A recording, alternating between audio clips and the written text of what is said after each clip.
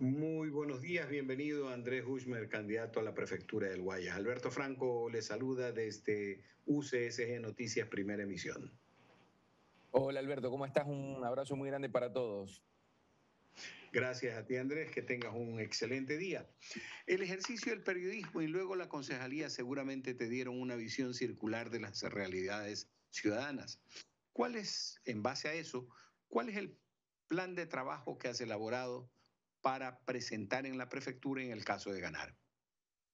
Es correcto, la verdad que una gran introducción porque a veces me preguntan por qué llegué a la política y siempre utilizo esos dos pilares que tú acabas de, acabas de manifestar. Eh, algo, evidentemente uno viene con una esencia, particularmente eh, creo que heredada de mis padres, en relación a, a, lo que uno quiere hacer, sin embargo después la comunicación social te acerca mucho a las realidades. 22 años estando relacionado a distintos medios de comunicación me han permitido recorrer el, Ecuador entero, gracias al fútbol, evidentemente, y ahí hay un montón de historias que la gente te cuenta. Después, si unes esta esencia que uno tiene, más palpar la realidad social y después poderlo eh, llevar a cabo mediante una concejalía durante tres años, era, era realmente una fórmula bastante, bastante buena como para decir, bueno, si hicimos algo interesante y pudimos cumplir la propuesta de un Guayaquil activo, imagínate lo que podemos hacer en la provincia del Guayas. Y lo que hice es tal vez lo que debería hacer eh, eh,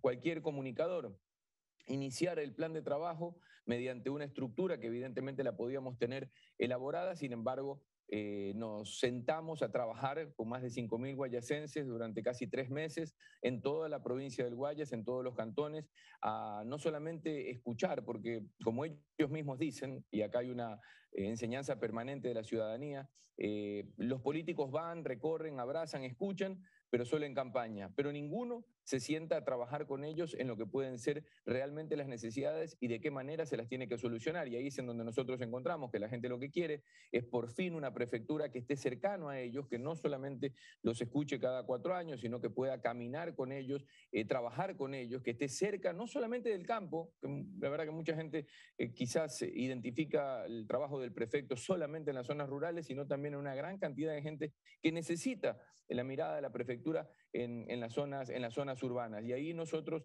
hemos detectado que las principales necesidades de la gente están hoy en día en confiar nuevamente en una administración a nivel de un gobierno provincial que trabaje no por ocurrencias, sino por evidencias, que realmente trabaje con honestidad y que pueda hacerlo de la mano de cualquier municipio o gobierno nacional para solucionar los problemas de las familias. ¿Cuáles son? La delincuencia y la falta de empleo. Y ahí es en donde nosotros vamos a hacernos fuertes con el tema de seguridad humana y la economía emprendedora que forma parte de, la esencia de todos los guayasenses. Es indiscutible que para poder manejar todo esto aquí que estás diciendo, tanto seguridad cuanto eh, emprendimiento, vas a requerir una estructura partidaria ideológica y si no ideológica, por lo menos que congenie con tu idea. Esa estructura política, tu partido la tiene estructurada, la tiene armada, los cuadros operativos en territorio tienen la experiencia necesaria para crear la expectativa suficiente como para primero lograr que voten por ti y luego cumplir la promesa de crear oportunidades de trabajo? ¿Cuáles son esos ejes de campaña ya en territorio? Mira, Alberto, eh, yo creo que la coyuntura acá eh, es, y, lo digo públicamente, hay, un montón de cosas que me vas a escuchar decir y que tal vez eh, vas a decir, ¿qué está diciendo este pelado? Pero, pero son, son cosas que, realmente las pienso porque no soy un político tradicional, soy un candidato distinto y la gente me, ve así y me van a escuchar muchas veces decir cosas distintas a lo que los candidatos tradicionales o los partidos políticos tradicionales vienen diciendo. La coyuntura los condena, eh, Alberto, y, y, y obviamente nos, no, no, nos pone a nosotros en un momento, en un momento ideal. La respuesta es básica. La estructura de Movimiento Reto está recién, recién presentándose en sociedad. Que todos los días tenemos más gente es indiscutible. Ayer estuvimos toda la mañana en, estuvimos toda la mañana en Monte Sinaí y después estuvimos en Salitre, eh, prácticamente eh, a las tres y media, cuatro de la tarde. Una cantidad de gente increíble, muchos me, me, identifican por los medios de comunicación otros ya saben que estoy de candidato a prefecto y la gente te dice, esto es lo que buscábamos, esto es lo que queríamos, esto es lo que queremos. Entonces ahí es en donde el gran equipo de reto se está, se está agrandando día a día, pero pero te voy a decir algo más que tampoco lo dicen los partidos políticos. Nosotros no queremos y no estamos, no estamos pensando trabajar solamente nosotros. Estamos nosotros, eh, y, esto también es, parte de la, de la esencia de nuestro partido, en una mesa redonda en donde todos se pueden venir a sentar. Acá no hay posiciones jerárquicas o mesas napoleónicas, como dije el día viernes en una entrevista con Jorge Cobar, en donde vamos a, eh, vamos a tener que acatar órdenes de un, de un, caudillo, un líder o un dueño de un partido político, porque lo que necesita el Ecuador es una renovación, lo que necesita el Ecuador es reconciliarnos, reunirnos. Creo que hay gente muy valiosa en muchos partidos políticos y quizás lo que ha hecho la política tradicional durante tanto tiempo es dividirnos justamente en números, en papeletas, en ideologías. He nacido en una política que ha estado permanentemente eh, confrontada y, no nos ha llevado, por lo visto, por cómo estamos y lo que la gente hoy está viviendo, no nos ha llevado a ningún término. Así que para llevar a cabo los planes de nuestro, de nuestro plan de gobierno, los ejes transversales del plan de gobierno, lo vamos a hacer con quien tengamos que hacerlos. Yo estoy muy agradecido y como lo he dicho antes, no voy a decirlo públicamente los nombres de los alcaldes de otros partidos políticos que me han llamado y me siguen llamando o mandando mensajes, algo para desearme suerte y, decir, Andrés, la verdad que si ganas, creemos que tienes todo para, para cambiar la provincia, por favor, cuenta con nosotros. Sabemos que tienes un candidato en, en, mi cantón, no pasa nada, me gusta la manera que estás, que estás planteando esta nueva política y la verdad que ahí es en donde nosotros nos vamos a enfocar en que los planes se lleven a cabo ejecutándolos con quien tengamos que ejecutarlos, porque hay un montón de gente, y seguramente aquí podríamos entrar después, si te parece bien Alberto, en, en materia, que me dicen, pero si esos planes que estás diciendo no son parte de la competencia básica de, de la prefectura, y es ahí donde digo, la prefectura tiene una... Eh, competencia básica y es el bienestar de su gente. Para llevar a cabo estos planes tendrá que llevarlos a cabo con sus recursos, nunca por encima de, lo, de, de la ley, nunca eh, sobrepasándonos, obviamente lo que COTAT dice, pero vamos a poder ejecutar e instrumentar de una manera reguladora, transparente, con gobiernos nacionales, ministerios, municipios o incluso a nivel de empresa privada para eh, poder solucionar los problemas de las familias. Brevemente, Andrés, ¿cuáles son esos planes en concreto? ¿Podrías enumerarlos?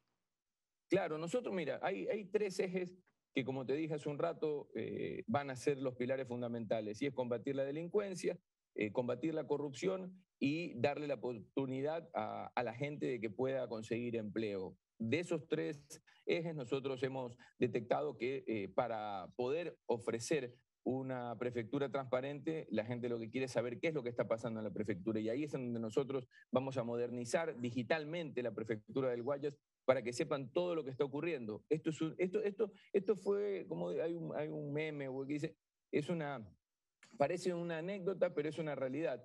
Eh, y, en una conversación así yo dije, basta de, secretismos o qué es lo que está pasando dentro del despacho del prefecto, en donde hoy en día creo que entras hasta con huella dactilar. Basta, el primer día se saca la puerta del, despacho del prefecto. La gente sabrá qué es lo que está pasando adentro. Además de transformar digitalmente todo el sistema para que los guayacenses sepan, el ciudadano sepa qué se está contratando, quién está licitando, cuánto se está pagando, qué avance de obra hay, qué programas sociales existen, todo al alcance de lo que estamos utilizando hoy en esta entrevista, la tecnología, y llegar obviamente mediante el Internet gratuito a cada vez más gente. Segundo punto, la seguridad humana. La delincuencia es un problema gravísimo, hay que enfrentarla con mucho rigor, invirtiendo recursos en todo lo que normalmente se invierte recursos para combatir al crimen. Sin embargo, el objetivo no es llenar de delincuentes las cárceles. El objetivo realmente tiene que ser que se dejen de producir delincuentes en la sociedad. Y es ahí en donde hay que poner nuestra mirada en los dos frentes, con una mano el rigor y con otra mano la educación. Y ahí es donde nosotros vamos a ofrecer la oportunidad para que todos los chicos que hoy no tienen otra chance que pisar eh, la vereda de su casa y darse cuenta que en la esquina están reclutando niños cada vez más chicos para las pandillas o para ser sicarios, como presentó una crónica a la BBC de Londres hace unos días, bueno, hay que darle las mismas herramientas.